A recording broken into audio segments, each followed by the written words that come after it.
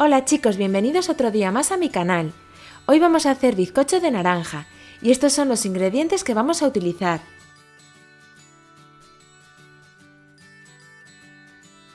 Comenzamos poniendo en un bol los huevos junto con el azúcar y los batimos a velocidad alta con una batidora de varillas hasta que espumen y blanqueen. Esto nos llevará unos 5 o 6 minutos, así que tenemos que tener un poco de paciencia ya que este paso es muy importante para que el bizcocho quede súper esponjoso. Si no tenéis una batidora eléctrica como esta, lo podéis hacer a mano, pero llevará algo más de tiempo. Cuando los huevos hayan duplicado su volumen y tengan un color amarillo clarito, ya los tendríamos listos. Una vez hecho esto, añadimos el aceite de girasol o cualquier aceite vegetal con sabor suave. A continuación agregamos el yogur griego, aunque si lo preferís podéis sustituirlo por un yogur natural normal o por la misma cantidad de leche, Después incorporamos el zumo de naranja recién exprimido y la ralladura de cáscara de naranja. Seguimos batiendo durante unos segundos más para que se mezcle todo bien. Os recomiendo que los ingredientes estén a temperatura ambiente para que se integren mucho mejor. Ahora ponemos dentro de un colador de malla fina la harina y la levadura química o polvo para hornear y lo tamizamos dando unos golpecitos.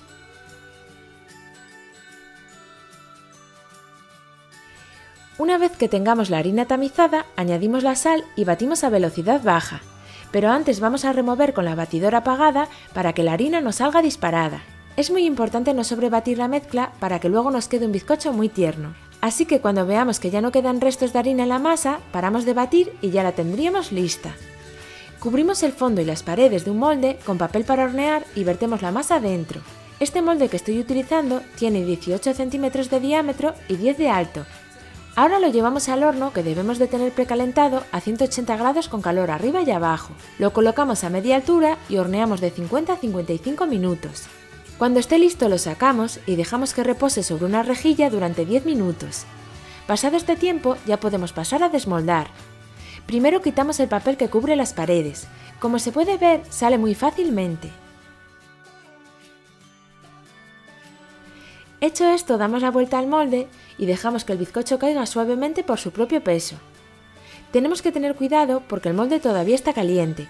Además el bizcocho está muy tierno aún, por lo que tenemos que tratarlo con delicadeza para evitar que se rompa. Una vez fuera, retiramos el papel que cubría el fondo del molde. Posamos el bizcocho sobre la rejilla y dejamos que se enfríe completamente. Como se puede ver queda un bizcocho bastante alto, ideal para utilizar como base para tartas o layer cakes, aunque por sí solo está riquísimo. A mí personalmente me encanta prepararlo para comer en el desayuno. Queda muy esponjoso y lo mejor de todo es su delicioso e irresistible sabor a naranja. Yo no me aguanto más y voy a comer un trozo. Espero que os haya parecido fácil. Si preparáis esta o cualquier otra receta de mi canal, no olvidéis subir una foto a las redes sociales y etiquetarme, para que pueda ver lo bien que os han quedado.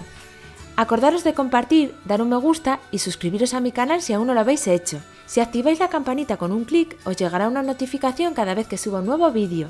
Nos vemos en la siguiente receta. ¡Hasta la próxima!